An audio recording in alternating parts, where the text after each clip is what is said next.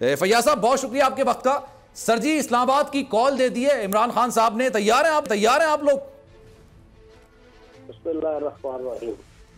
मेरा ख्याल है कि आप ये सवाल पूछने से पहले इस्लामाबाद का कराची का पशावर का और लाहौर का जलसा आपने देख लिया है। जी जी बिल्कुल देखा ये सवाल पूछने से पहले आप अपना कैमरा मैन लें और पाकिस्तान के किसी गाँव कस्बे और किसी शहर में चले जाएँ और रैंडमली किसी पचास सौ बंदों को आप पकड़ कर उसे पूछें कि हाँ जी तुम्हारा क्या ख्याल है? तो अगर उसमें से नाइन्टी परसेंट से अबव लोगों ने इन्हीं ख्याल का इजहार ना किया जो इमरान खान साहब कर रहे हैं तो फिर आप मुझे बताइए। तो सर लेकिन मैं आपको ये बता सकता हूँ 2014 में जो धरना दिया था उसके मकासद आपने पूरे नहीं कर सके थे सर। ये भी एक वैलिड रीजन है इसका। क्या चीज़? सर 2014 में जो धरना दिया था सिर्फ़ चार हल्के खोलने की बात की थी। वो नहीं खुले थे लेकिन ये बात भी आप मानेंगे। नहीं आपकी इंफॉर्मेशन गलत है। अच्छा। आपकी इतलाह के लिए चारों हल्के खुल गए थे और चारों पे जो है वो धांधली साबित हो गई थी सुप्रीम कोर्ट के हुक्म पर। कोर्ट ने इलेक्शन कमीशन ने री इलेक्शन का ऑर्डर किया था जिसमें तीन में री इलेक्शन हुआ था। चौथे पे फिर उन्होंने दोबारा स्टे ले लिया था ख्वाजा आसिफ से ठीक है कोर्ट के हुक्म पर था ना सर ये? सारी बात वो सारी बात साबित हो गई थी जो पीटीआई और इमरान खान साहब कहते थे कि 2013 का इलेक्शन रिग हुआ है। वोट किसी और का था और ताज किसी और को पहनाया गया था। अच्छा। तो जनाब ये आज आपको अदालत से भी एक अच्छा रिलीफ मिला है जनाब वो जो एक महीने के अंदर फॉरेन फंडिंग वाला मामला था। अब उसमें भी ये जो जो मामला था कि एक महीने के अंदर निपटाओ उसको खत्म कर दिया गया है। इस पर क्या राय आपकी? देखें फॉरेन फंडिंग केस के हवाले से मैं तो पिछले पाँच छः साल से इस केस के हवाले से जाना इन टच था इस हुकूमत में आने से पहले।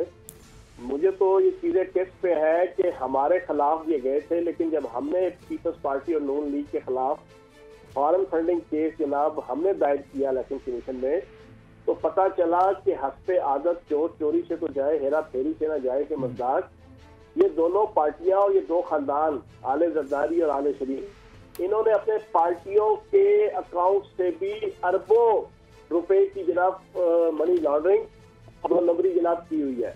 और इनके पास तो खाता ही कोई नहीं है कि पैसा कहाँ से आ रहा है कहाँ जा रहा है। हमारे तो वो चार पाँच छह ट्रांजेक्शन जो है ना वो सौ डॉलर की या पचास डॉलर की या दो सौ डॉलर की उसके ऊपर इन्होंने इतना तूफ़ान बदतमीजी मचाया। इनके पास अपने अरबों रुपए के जनाब कोई सबूत ही नहीं है कौन भेज रहा है क्यों भेज रहा है बल्कि इलेक्शन कमीशन को इनकी मनी लॉन्ड्रिंग के जो है सबूत मिले। अच्छा। तो अब होना तो ये चाहिए कि election commission free and fair फिर तीनों पार्टियों के हवाले से जो है वो फौरी तौर पर फैसला ले। लेकिन ये तरफा कार्रवाई इन्होंने जो स्टार्ट की सिर्फ़ पीटीआई का एक महीने के अंदर जनाब आप डिसीज़न दे दो। नहीं जनाब ये मीठा मीठा हाफ़ हाफ़ और कड़वा कड़वा थ्री तो नहीं होना चाहिए। इसके ऊपर अदालत ने अगर उसके डबल बेंच ने इस्लामाबाद हाई कोर्ट के फैसला दिया तो अच्छा फैसला है। सर ये मीठा मीठा हाफ़ हाफ़ और कड़वा कड़वा थूथू जो आपने कहा है सर ये फैसलों पर भी तो होना चाहिए ना। जो आपके अगेंस्ट आए उसको आप बुरा मान जाएँ जो आपके हक में आए आपके बहुत अच्छा फैसला। इस पर भी ये लागू होना चाहिए सर। जनाब मैंने आपको कहा ना कि तीनों के हवाले से दे देना। पीपल्स पार्टी के खिलाफ भी फॉरन फंडिंग केस चल रहा है नून लीग के खिलाफ भी चल रहा है। हमारे खिलाफ भी चलो झूठा सच्चा जो चल रहा है। तीनों के हवाले से आप ले आओ। इस्लामाबाद हाईकोर्ट डिसीज़न दे दे हाँ जी तीनों का फैसला एक महीने के अंदर कर दो और तीनों की जनाब फैक्ट एंड फिगर जबान के सामने लेकर आओ। तो ठीक है इट्स ओके लेकिन ये तो नहीं कि आप जनाब पिकर चूज़ करें और एक पार्टी के हवाले से आप कहेंगे लेकिन महीने के अंदर जनाब इन्होंने खड़का दो तो खड़का दो तो बाकी दोनों जनाब अच्छा तो आपके जो मुखालफीन है ना सर सियासत में जो आपके मुखालफीन है वो इसका एक जवाब एक जवाब ये देते हैं कि 2014 का ये फॉरेन फंडिंग का मामला है। तो जनाब पहले आपका है पहले आपका फैसला आएगा। अदालत में ऐसे ही होता है कि पहले आपका फैसला अगर आपके खिलाफ केस है तो उसी की सुनवाई होगी उसी का फैसला आएगा। ये लॉजिक भी मुनासिब पंद्रह का है हम्म। दो हज़ार पंद्रह सोलह का है। हम्म। इनका कौन सा कोई है ना आज सुबह स्टार्ट हुआ है। या कल सुबह स्टार्ट हुआ है। इनका हम्म। भी पाँच छह साल पुराना है। अच्छा। इनकी भी चीज़ें सारी क्लियर है। हम्म। इनकी तो मैंने आपको बता दिया ना ये रोज़े बछवाने गए थे नमाजे रखवा के आए थे। और इनके साथ जो पार्ट हुआ है वो तो सारी दुनिया देखेगी। सारी दुनिया को पता चलेगा हम्म।